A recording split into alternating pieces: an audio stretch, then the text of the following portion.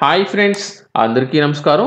ఈ వీడియోలో భూముల మ్యూటేషన్కి సంబంధించి అలాగే మీ యొక్క భూములకు సంబంధించిన మ్యూటేషన్ అనేది జరిగే సమయంలో ఏదైనా సరే తప్పులు ఉన్నట్లయితే సవరించుకోవాలి అనుకున్నా లేదా అంటే మీ యొక్క వెబ్లాండ్లో వివరాలు అనేది తప్పులు ఉన్నట్లయితే సవరించుకోవాలి అనుకున్నా అలాగే మీ యొక్క భూమిని వేరొకరికి ట్రాన్సాక్షన్ అనేది చేసినట్లయితే ఆ యొక్క అప్లికేషన్ స్టేటస్ అనేది ఏ విధంగా చెక్ చేసుకోవాలి.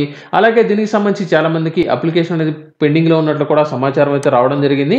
దీనికి సంబంధించి ఏ విధంగా ఈ యొక్క యూజర్ మాన్యువల్ అనేది ఉంటుందో కూడా ఇప్పుడు నేను మీకైతే తెలియజేస్తాను. దీనికి సంబంధించిన పూర్తి సమాచారం కనుక చూసుకున్నట్లయితే మనకు భూముల మ్యూటేషన్కి సంబంధించి ట్రాన్సాక్షన్ వివరాలు అనేది చాలా మందికి ఇంకా పెండింగ్లో ఉన్నట్లయితే గుర్తించడం జరిగింది. ఇలా ఎందుకు ఉందంటే వీటికి సంబంధించిన అప్లికేషన్ అనేది ముందుగా మీ యొక్క జిల్లా ఏదైతే ఉందో దానికి సంబంధించిన పూర్తి వివరాలు మీరైతే తెలుసుకోవాల్సి ఉంటుంది. ఇక్కడ మ్యూటేషన్కి సంబంధించి మీరు కరెక్షన్ అనేది చేసుకున్న అంటే మీ యొక్క వివరాలు తప్పులుండి మీరు కరెక్షన్ అనేది చేసుకున్న లేదా మీ యొక్క భూమిని వేరొకరికి ట్రాన్సాక్షన్ అనేది చేసినట్లయితే అంటే మీరు వేరొకరికి అమ్మేసినట్లయితే దానికి సంబంధించిన అప్లికేషన్ స్టేటస్ అనేది చెక్ చేసుకోవాలి అనుకున్నట్లయితే ముందుగా మీకు సంబంధించిన జిల్లా అనేది ఇక్కడైతే సెలెక్ట్ అనేది చేసుకోవాల్సి ఉంటుంది.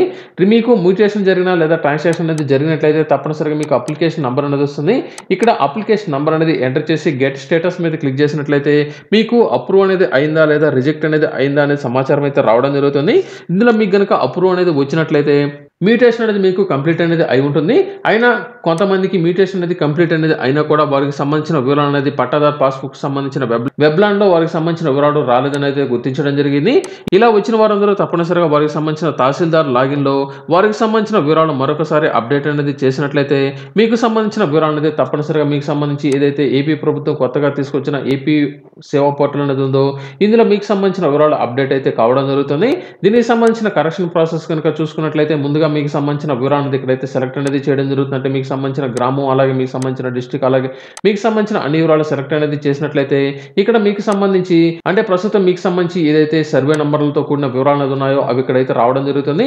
మార్పు చేసిన మీదట మీకు సంబంధించిన సర్వే వివరాలు అంటే మీకు సంబంధించిన ల్యాండ్ వివరాలతో అంటే ఎంత స్థలం అనేది ఉంది అలాగే మీకు సంబంధించి ప్ర- ఇది ప్రభుత్వ భూమి లేకపోతే ప్రైవేట్ భూమి అలాగే ఇది యొక్క పంట భూమికి సంబంధించిన వివరాలు అనేది ఇక్కడైతే రావడం జరుగుతుంది. ఈ విధంగా మీకు సంబంధించిన వివరాలు అనేది ఆన్లైన్లో అప్డేట్ అనేది అయితే చేయడం జరుగుతుంది. మీకు సంబంధించి ఎవరైనా సరే మ్యూటేషన్ అనేది చేసుకున్నా లేదా వారికి సంబంధించిన కరెక్షన్ అనేది చేసుకున్నా ట్రాన్సాక్షన్ అనేది చేసినట్లయితే మీకు సంబంధించిన జిల్లా అనేది సెలెక్ట్ చేసుకుని అప్లికేషన్ నెంబర్ అనేది ఎంటర్ చేసి గెట్ స్టేటస్ మీద క్లిక్ చేసినట్లయితే మీకు సంబంధించి అప్లికేషన్ అనేది యాక్సెప్ట్ అనేది అయిందా రిజెక్ట్ అనేది అయిందా మీ యొక్క స్టేటస్ మీరైతే తప్పనిసరిగా చెక్ చేసుకోవచ్చు. ఈ లింక్ను నేను ఆల్రెడీ మీకు డిస్క్రిప్షన్లో కూడా అందజేయడం జరిగింది. అలాగే మీ యొక్క భూమికి సంబంధించిన రిజిస్ట్రేషన్ డాక్యుమెంట్లు డౌన్లోడ్ అనేది చేసుకోనుకున్నా లేదా మ్యూటేషన్కి సంబంధించిన పూర్తి సమాచారం కింద డిస్క్రిప్షన్లో నేను మరికొన్ని లింకులు అయితే అందజేశాను. అందులో మీకు సంబంధించిన వివరాలు కూడా తప్పనిసరిగా మీరైతే చెక్ చేసుకోండి.